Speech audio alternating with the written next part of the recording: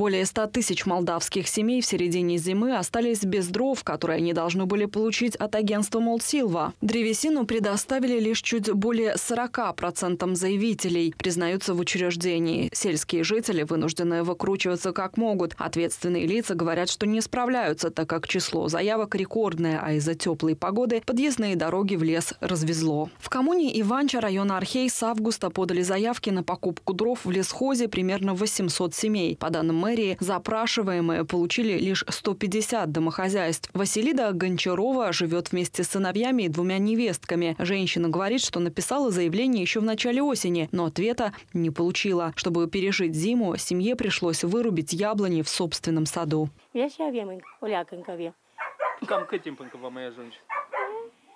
Pe o două săptămâni, nu, că băi, copil mititel și punem seara și dimineața foc. Tăiem iar merele și ce să facem? De unde luați? uh, De la cvote, cvote avem. Ați fost nevoiți să tăieți din Nu, dar ce să facem? mierele, Nu, dar ce să facem? Nu, cum de trăit? Nu, ce să facem? Ce de făcut? Trei cote, am și de făcut. Ce de Altfel nu vă descurcați. Nu, dar cum? Dar cum fără lemn? Și cu pensia noastră? Сотни семей в коммуне находятся в таком же положении. В сентябре записалась. И ждете, да? Конечно, жду. Уже сколько можно ждать? Вон зима уже, половина зимы, а дрова еще нету. Никогда так не было. Всегда мы покупали, всегда было запасы, всегда. А в этом году еще никогда так не было. Что делать нам? Что делать?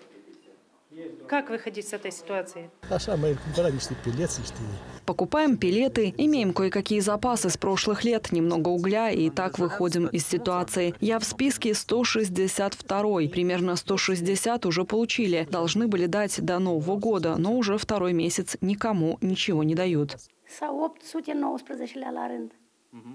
Я в списке под номером 819. Ждем. Видимо, государство не разрешает рубить деревья, потому что раньше никогда такого не было. Я живу здесь 35 лет и никогда не приходилось оставаться без дров. Как вы справляетесь? Есть небольшие запасы, экономим. По словам мэра коммуны Иванча, ситуация критическая. Foarte, E, Очень много людей приходят, плачут, что у них не осталось дров. Мы стараемся найти выход, звоним, говорим, дайте этим людям, потому что у них действительно ничего нет. Очередь большая, люди это знают, списки опубликованы в интернете. Просим людей уступить тем, у кого ничего не осталось, и они соглашаются. Можно было так организовать, чтобы мэрия вообще не участвовала. В свою очередь в лесном хозяйстве района Архей говорят, что с августа было получено 8600 заявок. Из них удовлетворены чуть более 6600. Дело застопорилось из-за погоды, говорят ответственные лица.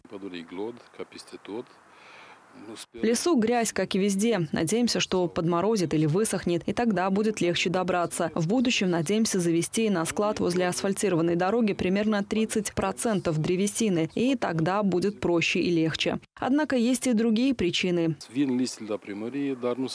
Из мэрии приходят списки, но не все по спискам являются. Если в списке 50 человек, в лесное хозяйство приходят в назначенный день только 25, 30, 35. Это создает проблемы? Да, потому что в другой день мы используем списки из другой мэрии, и те 25-30 человек мы должны включить в другой день. Получается путаница. В целом, по стране с августа до конца декабря мэрии получили более 205 тысяч заявок на приобретение дров, сообщает Молд Силва. Однако получили желаемое только 88 тысяч домохозяйств общим объемом 267 тысяч складометров.